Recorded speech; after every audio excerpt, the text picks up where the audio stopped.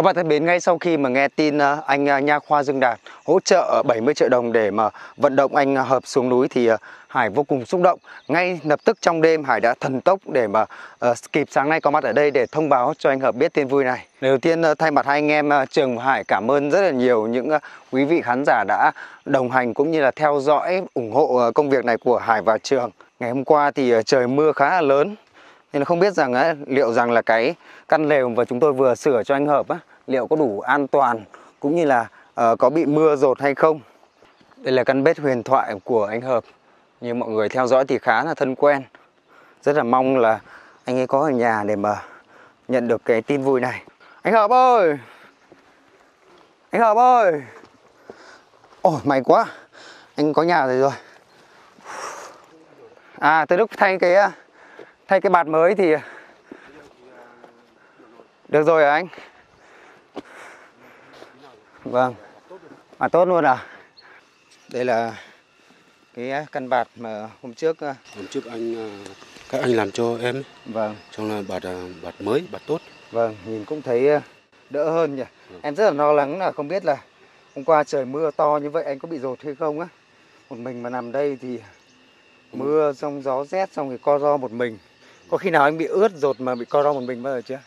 Ừm, từ trước ban đầu là bị rột rồi. À, Thì lúc à, đến mùa làm ruộng ừ, thì à, rột à, thì 8 năm, dạ, tám, hơn 8 năm nay thì cũng bị rột à, mấy lần rồi. dạ. Thì à, cũng ướt hết, chân điểm ướt hết xong lấy đi phơi, Ừ. chân cũng đi giật. Thế là từ lúc mà có cái bạt này thì cũng đỡ nhỉ? Bây giờ từ lúc anh các anh làm thì bây giờ đến bây giờ thì bạt mới thì đỡ rồi. Dạ. Thì đấy thì như ờ, chúng tôi khi mà làm cái ờ, cái bạt này cho anh Hợp ấy thì ờ, cũng ờ, không mong anh ấy ờ, ở trên này lâu đâu. Bây giờ em à, báo cho anh ấy một cái tin vui ấy, tại sao em lại bảo anh bám một cái cây ấy? Vì sợ anh à, xúc động quá. Anh anh anh ngã ra mất. Là uh, có một cái anh ở anh ấy dưới Hà Nội, anh ấy chủ một cái nha khoa ở Dương Đạt đấy là đồng ý hỗ trợ cho anh uh, dựng một căn nhà dưới dưới, uh, ở dưới dưới núi thì đó thì uh, anh uh, cảm xúc anh như nào Bây giờ dừng bây giờ các anh dừng cho em luôn à?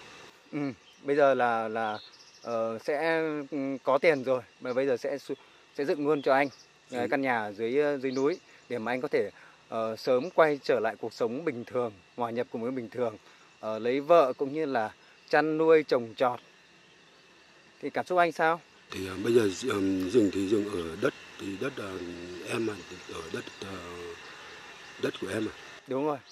Bây giờ thì bây giờ anh à, sẽ xuống đưa cho em chỉ cho em cái đất của anh như nào và em cũng liên lạc với à, chính quyền địa phương như là ban à, mặt trận tổ quốc hoặc là trưởng thôn đó để mà xem là đất của anh ở đâu để có thể dựng căn nhà cho anh. đất thì bây sang bố giường thì chú Quang Hinh này cùng mẹ lên thì bây giờ ở ruộng mà thì bây giờ làm mà rồi Ừ, làm mạ rồi. à? Đó.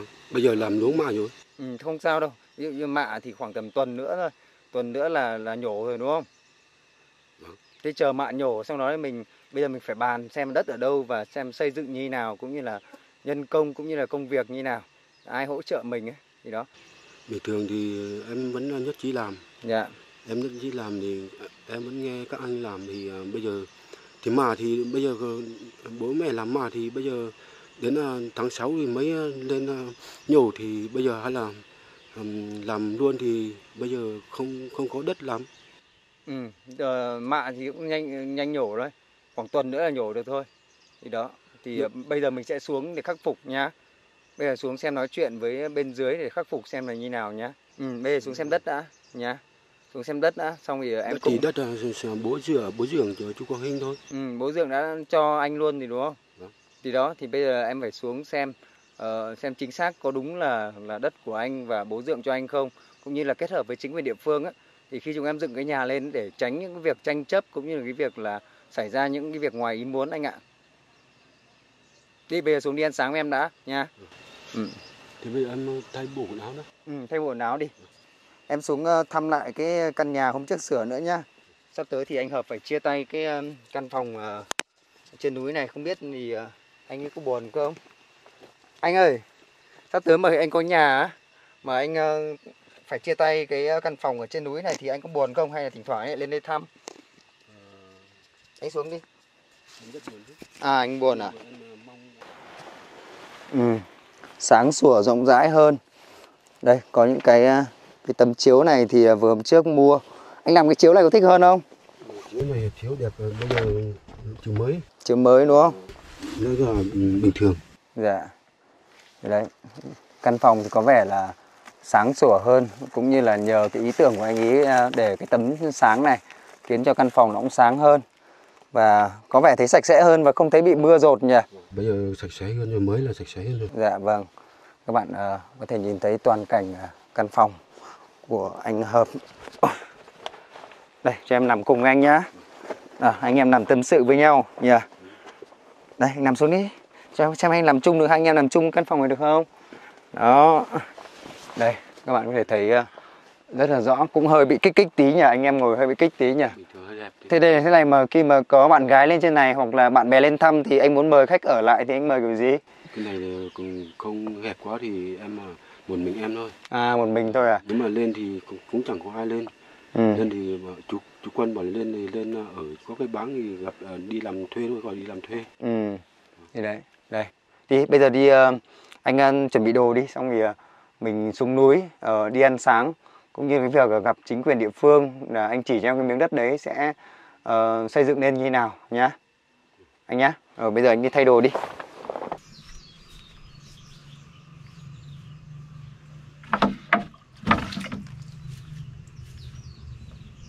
Đi. Đi.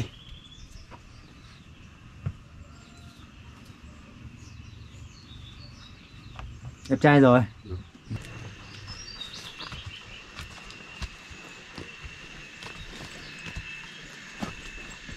Ăn quán này nhá. Ăn quán này nhá, tuyến nhá mình nhá.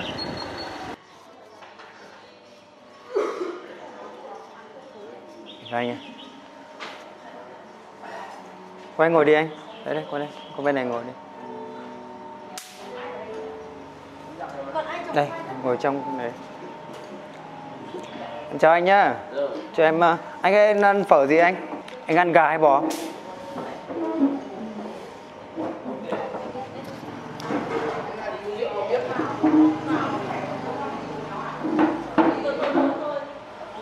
Anh ăn gà hay bò? Anh ăn phở gà hay phở bò? Hả? Gà đúng không? Ừ. Anh chủ quán ơi, cho em một tô phở gà to đi. Ờ, với một uh, phở bò, bò tái đi. Nháp tái ít bánh thôi nhá. Dạ vâng. Cho em ờ, tô phở to để cho anh ấy nâu lắm mới xuống núi được ờ, ăn phở. Anh biết anh hợp này không? Biết à? À thế à? Thì rất là vui khi mà là khi mà anh đăng lên ấy thì hôm nay là có mạnh thường quân là cho tiền để mà xây nhà cho anh ấy xuống núi rồi. Thế hôm nay đưa em à, xuống xem cái miếng đất của anh ấy như nào. Ừ. Thấy thấy thương không? Có biết anh ấy thấy thương không? Nhà gần đây không? À, xem rồi à? Ừ. Thế à? Nhà ngay dưới này à? Ừ. à Anh làm tô thật nhiều ờ, bánh nhiều thịt cho anh ấy nhá. Dạ. Đấy, anh ờ, chủ ở đây thì cũng ờ, Hải cũng rất hay ra ăn. Mà đến đây mà ăn không sớm thì thường xuyên bị hết. gà này chắc gà ta anh nhỉ? Nhà của trên mình hết đấy. À, trên mình hết nhỉ? Cái này chắc em nhìn thì cũng sắp hết rồi đúng không? Sắp hết được có một ít đất thôi. Dạ vâng, cũng may khi mà anh em xuống đây vẫn còn phở để ăn. Bao lâu rồi mà anh chưa được ăn một tô phở to như này, ngon như này? Lâu chưa anh? lâu quá rồi lâu rồi không nhớ đúng không? Anh ăn, anh ăn thôi Anh ăn trước đi. Đây. Kìa đây. Anh ăn trước đi.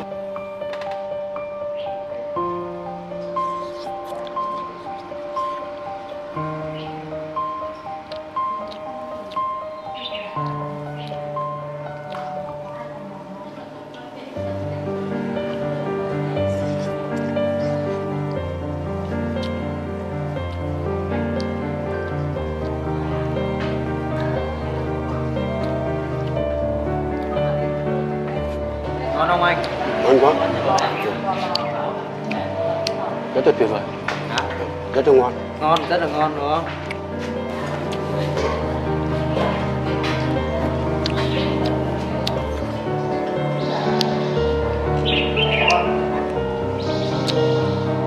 Có ăn hết được cái tô phở này không? không ăn hết được ăn hết được à? một nửa thôi Ăn ăn nhiều mới lấy sức chứ.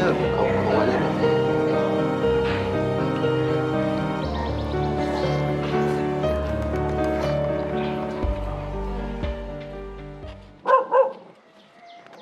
Đi đi anh. Đi đi anh. Đi vào nhà đi anh. Bây giờ thì ờ, mấy anh em ờ, vào nhà anh đạo trưởng thôn để mà ờ, xin phép ờ, báo cáo với chính quyền địa phương về việc Bố cháu đi học chính trị rồi ạ? à thôi anh đợi được anh ờ, hẹn trước bố rồi. À vâng. Ờ thì bố bảo là bố ấy sắp về rồi. Đi mình vào trong nhà trước đi. Anh vào đi. Đây à? À đây đây đây. Đây đây. Em chào anh nhá. Ừ. Em chào anh ạ. Anh mới đi học về à? Ờ, đi học mà. Dạ vâng, em vừa gọi cho anh vừa nãy. Lớn rồi đi học đi. Dạ. Đó, Lớn rồi đi học. đi học đấy, lớn hơn đi học. Dạ. Anh Đành à, bạn em. Dạ vâng. Đi vào nhà. Dạ vâng.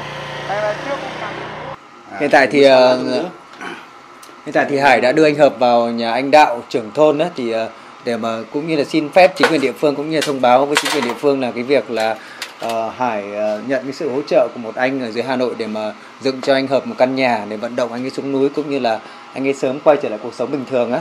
Anh Đạo ơi cái trường hợp của của anh anh Hợp là như nào anh nhỉ?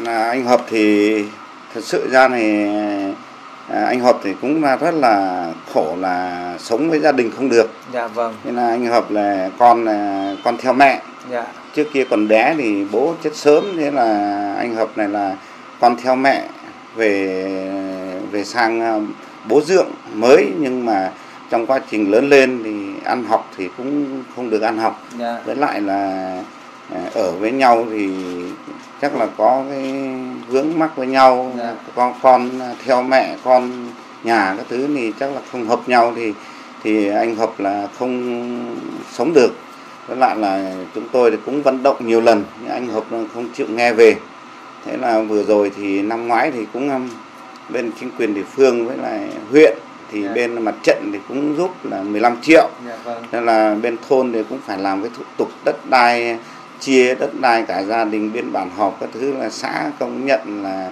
à, nhất trí rồi nhưng mà đi vận động thì anh em thì ai cũng không giúp anh bảo là à, giúp những người lười ở thế này thế kia thì cũng không giúp Dạ. thế bên chính quyền thôn này cũng rất là khó khăn thì cũng à, không thiếu tiền Dạ. rất là thiếu tiền không làm đủ được cái căn nhà bởi vì căn nhà là theo huyện thì cứ bắt buộc phải làm từ 40 mét vuông trở lên Dạ đến vâng. 50 mét vuông là tính tiền ra là không đủ Dạ vâng. thế thì à, đâm ra là không làm được Dạ. thì bây giờ nếu mà có à, các nhà hảo tâm à, dạ vâng. giúp đỡ thì thì chúng tôi cũng rất là cũng muốn là chuyển xuống cho anh hợp xuống để à, à, có một căn nhà ở và đi làm thuê các thứ Dạ. thì nó đỡ hơn. Cũng rất may khi lần này chúng em lên quay lại gặp anh Hợp ấy thì cũng được một nhà hảo tâm thì cũng hỗ trợ đủ số tiền để mà dựng lại cái cái căn nhà cho anh ý. Thì bây giờ vấn đề là em sẽ qua thông báo với chính quyền địa phương cũng như là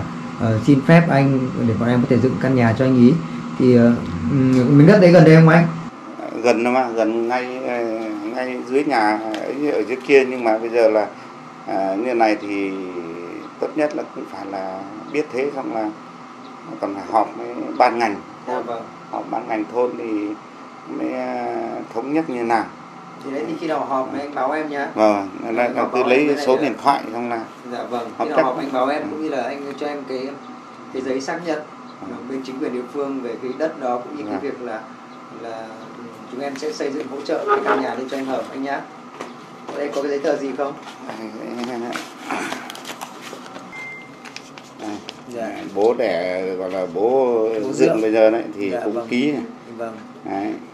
À, anh, anh, anh hợp ký à, mẹ này Vâng ký này Vâng ạ. Vân tay, vân tay không biết chữ này các em các em con các trai. em à, đấy cùng mẹ khác cha này, ký hết này Dạ vâng. Đấy là mặt trận là thôn ký này Dạ. đấy, trưởng thôn ký Dạ. đấy, xã đóng dấu xác nhận Dạ vâng. Thì đã cho em chụp lại cái đấy thì mình ờ, rộng khoảng bao nhiêu mét anh nhỉ? rộng thì ờ, ở trong này có hết này. Dạ vâng cho em xem cái diện tích với. Dạ. Đấy. cái diện tích thì À Thiểu số 583 mét vuông à, đấy ạ. 583 Như vậy thì cũng 6 khá rộng đấy chứ để làm một cả cái tất cả cái thửa đấy nhưng mà mình chỉ dựng cái nhà đủ ở thôi dạ đủ ở còn Đấy, lại để canh tác còn còn lại là để còn làm rau canh tác làm ruộng đấy chứ dạ vâng Đúng vâng không? em biết em Đấy. biết Nhưng làm sao mình Đấy. dựng được cả một căn nhà Ừ, rộng 500 mét đấy. vuông được đấy dạ vâng thì cho em xin Đấy. phép chụp lại cái tờ này nhá đấy, ừ, dạ vâng đấy. Là cũng giúp anh hợp làm bởi vì anh hợp cũng không biết làm đâu nhưng mà dạ. cũng thương là làm về thì vâng như vậy là về sau cũng như là xã cũng rất là quan tâm À, đấy nhưng mà cũng ờ, đấy là, là cũng khó khăn cũng chưa chưa có thể vận động đủ được. À, cái số tiền đó thì bây giờ bên mặt trận giữ hay bên nào giữ ạ? à, bên huyện nói của huyện nói dạ vâng. Huyện nó mình, mình làm thì họ mới cho xuống. Dạ vâng. Một số thì nó ra nó vào là ôi làm xong này sau này nó bán. Ừ. nó bán cái mảnh đất cái gì đấy đi Dạ. bán nhà đi thì bảo là không này cái này làm sao mà bán được? Cái này khi tập thể làm thì nó chỉ là được ở thôi. Dạ đúng đấy. rồi em ở đấy dễ hơn. Ừ. thì đi qua lại thì làm thuê thì đúng rồi làm thuê trong kiếm chỗ. tiền phải tích cóp nhá. Không phải là ki- kiếm đồng tiền nào ra xào đồng đấy. Mua rượu hết đồng đấy là là là không ai có giúp muốn giúp đỡ anh nữa rồi ấy. Anh nhá người ta chỉ dựng cho anh người ta có thể giúp đỡ anh được cái cơ bản thôi. Những cái nhà rồi ừ, cây trồng vật nuôi cũng như con lợn hay là con con heo để mà anh có cái để anh chăn nuôi anh hàng ngày anh đi lấy cỏ lợn rau lợn nhá. Thì rau lợn nuôi nó lên xong thì ờ, khi mà th- mọi người thấy được anh chăm tu trí làm ăn á thì có cô gái nào mà mà anh thích thì bọn em sẽ dắt đến cho nhá. Được không? Nhất trí không? Nhá. Còn chắc là cái này dựng cái nhà này là, là chắc chắn là không có không có đất thổ cư. Dạ nó chỉ gọi là dựng ở ở tạm hết đời của ông này thôi. Vâng đúng nó rồi. không thể nào bán được. Đấy. Dạ, vâng. Thì đấy thì cái diện- tích 400 mét vuông như vậy thì có thể làm nhà rồi vườn này rồi ờ, chuồng trại đấy nhé. Xem con gà con vịt. Ờ, cô cô có có Là hàng xóm cô hàng xóm à? Vâng. cô thấy anh hợp sao? Thấy như nào? Có thương không? Cũng thương ý là cô thì cũng là em với mẹ của của cái này là hai. Hai chị em bố, à? bố mẹ là hai chị em. Dạ vâng. Thực ra bác cũng con- thương lắm đúng không? Nhưng thương, mà nhưng mà không biết làm kiểu gì. không biết làm thế nào. Xong thì lại Ừ, cũng không có nghe lời nữa chứ. Đấy. đấy không có nghe lời mọi người xung quanh đấy. Thế là cứ bỏ lên trên đấy ở thôi. Ừ, thì cũng động viên cháu là không nên uống rượu nhiều. Dạ. Thì bây giờ cháu thì nó nghĩ là nó cũng có định xuất ở đấy. Dạ. Thì nó đòi lấy cái 400 này để để của nó nhưng mà cũng hết đời của nó thì cũng thế thôi. Dạ vâng. Nhưng nhưng mà thôi bọn để bọn cháu ờ, cố gắng khuyên anh đấy xem với theo dõi anh đấy. Để làm sao anh ấy có thể là quay trở lại cuộc sống bình thường hòa nhập cùng với mọi người chứ cứ sống cứ hàng ngày cứ leo trèo trên rừng đấy đấy. lên trèo leo trèo trên thì, rừng à, trên hang thì ở trên hang thì cũng cũng, cũng sắp được 10 năm rồi đấy. Dạ. Được 10 năm rồi đấy. Gần 10 năm đúng không? Đấy. đấy mọi người cũng thương anh lắm đấy. Anh nhá anh cố gắng nhá. Các chú các thứ là ai cũng đóng góp giúp làm cái nhà mà cho ở đấy là qua đi là phải biết nghe. Đấy thứ nhất là không được uống rượu. Đấy thứ hai là đi làm cố gắng đi làm về là à, mua gạo mua à, con gà con giết về nuôi. Đấy không phải là được bao nhiêu là đi uống rượu say thì có ai giúp mình. Đấy chú đã đi vận động rồi đi tận đông hà rồi ai cũng nói. Đấy lười thì không giúp. Giúp là giúp những người nó chăm làm bệnh tật thì người ta mới giúp. Đấy qua ở trên kia là khổ quá là chú phải giúp làm chú cũng không có tiền. Đấy. không thì năm ngoái cũng làm xong rồi. Đâu nhỉ thửa đất anh ấy đâu nhỉ? À cái ruộng đang gieo mạ ấy đúng không? Đó, đến là mấy cái cây ngô kìa à đến tận mấy cây ngô kia đúng không? Không phải đó. dạ vâng. Thì bây giờ thì đang à, gieo mạ. Thì ờ, em lại đang có ý định là sẽ chỉnh tường lên. Chỉnh tường lên. Chỉnh tường nhà khoảng tầm 3 gian lên cho anh nghĩ để làm sao cho nó thân thiện với môi trường ở đây cũng như là cái việc là nó sẽ mát mùa hè thì làm cái à, nhà nó- nhà kiểu truyền thống ngày xưa người, Đấy. người dân tộc. Đúng rồi đúng rồi. Đấy thì đấy Nếu mà thì làm nhà xây thì nó lại không đúng mấy. Vâng nhà xây không đúng với lại cái nóng lắm cũng như là mắc hơn chi phí sẽ đắt hơn. Chào cô nhá. Dạ. Đây cô đã thăm ờ, mảnh đất anh hợp à? À thế à? Dạ. Bọn cháu đang xem cái miếng đất để mà dựng cái căn nhà cho anh ấy ở, xong rồi lấy cho anh em cô vợ. Mai cháu giúp lấy đi. Dạ vâng. Thế bây giờ người ta làm mạ thì làm thế nào? Chứ thì phải không- chờ mạ xong vậy. Mạ thì khoảng bao lâu nữa thì ờ, thì sẽ nhổ Chắc cô? là hết tháng này nhỉ? Dạ vâng, hết tháng này. Bước Phải tháng sau thế nào? vâng chờ nhổ mạ thì trong lúc đó thì mình sẽ chuẩn bị về ờ, vật liệu xây dựng cũng như là cái việc là giấy tờ công văn cũng như là xin phép mọi người để làm sao là dựng căn nhà cho anh ấy lên đấy Nó cũng nên dựng không thì này nó về ở chung nó cũng ở được. Đúng rồi ở chung cũng khó. Này nó khó này. Dạ. Thế thì ở cái hang trên trên rừng đó thì lại không có đảm bảo an toàn. mất hay. Dạ vâng một mình ở trên đó xong thì cũng chả biết như nào cả. Dạ. Đây đây là cái căn ờ, thửa đất của anh hợp. Đây anh ấy đang ờ, anh ấy đang ngắm. Đấy thì em sẽ dựng cho anh một căn nhà đây nhá. Thì em sẽ dựng cho anh cái căn nhà đất. Đấy nhà trình tường á. Nhưng mà làm rộng cho anh và đầy đủ tiện nghi cho anh để cho anh ờ, ở cho nó mát. Không mà một mình ở đây không có cây cối gì cả. Đó thì thì ờ, ở mà nhà bê tông nó nóng lắm nhá. Nhá anh nhá. Thì đấy bây giờ thì sẽ phải chờ chờ mạ sang đầu tháng 6 nhá. Chờ mạ nhổ xong đi. Xong rồi trong lúc này thì bọn em sẽ vận chuyển nguyên- ờ, vật liệu với các thứ. Trong lúc làm thì anh sẽ cùng làm nhá. Lúc nhổ mà làm ruộng ừ. xong mới làm cho em. Đúng rồi thì đó nhưng mà trong lúc mà dựng nhà thì anh sẽ cùng mọi người dựng nhá. Bao nhiêu tuần à, bao nhiêu tháng nữa? Đầu tháng 6 thì sẽ nhổ mạ thì sẽ dựng. Bây giờ bây giờ là giữa tháng 5 rồi khoảng nửa tháng nữa hai tuần nữa. Hai tuần nữa. Ừ, nhá. Hai tuần nữa mới làm. Bởi vì bây giờ đang vướng mạ mình chưa thể làm ngay được. Nhưng ờ, mình sẽ vận chuyển ờ, nguyên vật liệu trước luôn. Được không? Ví dụ đất mang vào đây để trình cũng như là ngói mua về đây chỉ việc khi mà nhổ mạ cái là mình dựng nhà lên luôn. Nhá. Thế là chắc hết tháng 6 ừ, chắc phải tháng 6 nhá. Hết tháng 6 thôi. Ừ, không không phải để hết tháng 6 đâu. Nhưng mà hết tháng 6 là xong. Hết tháng 6 là anh có nhà mới. Bên dưới thì để anh trồng ờ, trồng cây nhá trồng rau nhá trồng lúa trồng ngô để mà lấy cái ăn nhá. Làm vườn rau. Ừ, làm vườn rau đó. Xong thì em sẽ mua cho anh mấy con gà nữa mua con lợn nữa. Xong rồi đi chợ phiên mua con lợn nhá. Mua con lợn thả vào xong hàng ngày đi lấy rau cho nó ăn. Làm nhà đó làm nhà xong rồi mới ừ, đấy thì là đại loại là sẽ ừ, tương lai là như vậy. Làm sao là anh phải ờ, tự đi lên chính ở đôi tân chân của mình nhá. Là mình ờ, các mạnh thường quân cũng như là mọi người sẽ ủng hộ anh về những cái cơ sở hạ tầng nhất định để mà anh có thể tự đứng lên cái đôi chân của mình được nhá. Anh tự làm tự ăn. Thì ờ, khi nào mà ừm, họp thì anh báo em nhá. Rồi rồi rồi, chắc chắn là mấy hôm nữa thôi. Dạ. Giờ chờ thằng nông dân nó đi quê ngoại lên thì dạ thì vâng. nó khoảng độ tầm 12 nó 13 14 nó lên rồi. Dạ vâng ạ. Lên xong là bắt đầu sẽ sẽ sẽ gọi điện gọi điện xong thống nhất cái là sẽ họp xong là mời cả mặt trận xã xuống. Dạ vâng ạ. Ờ, xuống cả thôn ban quản lý thôn với lại là đấy em nữa xong là Dạ vâng. sẽ ngồi cùng nhau dạ vâng ạ. để ờ, làm như thế nào. Rất là mong là mọi chuyện sẽ Đúng được rồi. ờ, êm xuôi Vâng. và anh hợp cũng ờ, sớm xuống núi và quay trở lại cuộc sống À, bình thường đúng không anh? cả, nhà nước cũng phải nên giúp đỡ. Dạ vâng giúp ạ. Dạ còn vâng. đối tượng khác thì không nói. Dạ vâng ạ. Nên đây thì nó khủ khệ là cái biệt rồi. Dạ vâng ạ. Nó mà biết thì là không đến lượt mình vất vả. Dạ vâng. đúng không? Như này nhá bây giờ thì cũng nhắc lại nhé là khi mà dựng căn nhà lên thì anh phải tu trí làm ăn này. Đấy cũng như là cái việc là chăn nuôi này rồi ờ, tích cóp tiền này và bớt uống rượu đi. Bớt uống rượu thì muốn bỏ ngay thì cũng khó nhưng phải uống ớt bít ít đi nhá. Ít đi xong thì khi mà thấy anh chịu khó xong thì nhiều các cô mà thấy được anh chịu khó đến đây hoặc là thích anh ấy hoặc là anh thích cô nào thì em dắt đi cho nhá. Xong rồi lấy một cô vợ. đến tháng thì hồi em làm thì làm nhà tranh em ở còn em ở đây thì thoải mái hơn. Ừ, đấy Thì ở đây thì thoải mái xong rồi đỡ mưa đỡ gió. Vâng. thì đấy cũng như là cái việc có cái chỗ mình đi làm thuê xung quanh ví dụ như là xung quanh ai thuê cái gì thì mình làm cái đấy. Vâng, xong đúng rồi tích cóp tiền lại. Đúng đấy xong có tiền xong thì người, có cái chỗ ở thì người ta mới về chịu về ở với mình chứ. Chứ mình ở trên kia thì nghe mà dắt người yêu lên đây nhà anh đây. Vào ở hang với anh nhá. Anh có chịu không?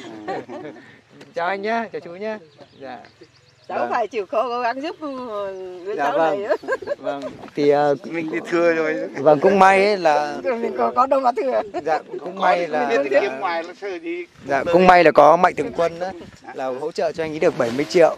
Nên là à, ngoài ra thì bọn em cũng hỗ trợ thêm nữa. Thế là để xem là dựng cho anh ấy căn nhà cũng như là chuồng trại để anh có thể chăn nuôi được. Đấy cũng như là trồng rau trồng ngô trồng khoai có thể trồng lúa được có cái sinh hoạt. Thế bây giờ chỉ mỗi một cái là anh ấy phải phải tu trí làm ăn thôi. rồi có nhà có cửa thì nó phải là tiêu chí làm ăn thì dạ vâng. Đấy tu trí làm ăn thì đẹp trai như này thiếu gì cô thích đúng không? Ờ, mặc diện và đẹp trai thật mà. Ờ rượu đẹp trai nữa cất tóc đi xong thì là mặc không mặc diện Ờ. đẹp trai thật đấy. Nào đi cắt tóc nhá. Hôm nào đi cắt tóc nhá. Bây giờ đi cắt nhỉ? Bây giờ thôi để hôm, hôm nào đi. Đây, hôm nào hôm nào đi cắt tóc. Bây giờ dài quá rồi. Để mấy hôm nữa đi. Mấy nữa cắt tóc chưa? Nhá mấy nữa cắt tóc chưa? Đây đây nhìn đây nào đó. Về mà cắt tóc đẹp trai xem thì ờ, có cô nào mà đang xem video này có thích không? Cắt từ giống cháu à? dạ.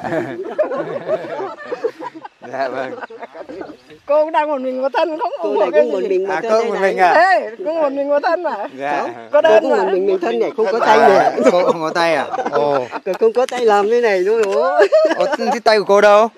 Tay của cô đây này.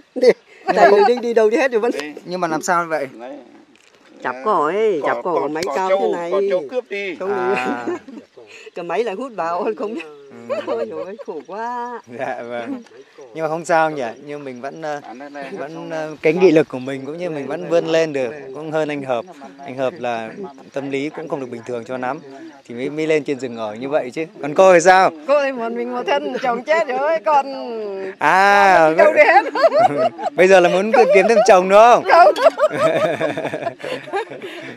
thế ở nhà nhà có bao nhiêu con trâu Có mới một con, bây giờ lấy con kêu làm bạn làm bề thôi. à à thế. Cũng một mình một thân khác ở cái nhà như dách ở trong kia anh à À, cháu phải giúp bạn ờ, giúp cô nữa đấy. Hay là lấy anh hợp?